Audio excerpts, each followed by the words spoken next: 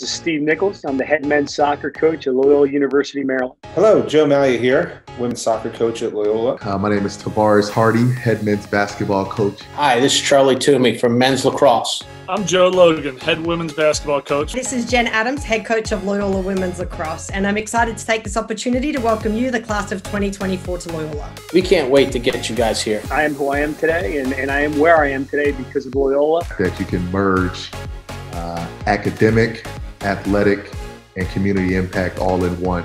You will be surrounded by some of the most talented, gifted, dedicated people.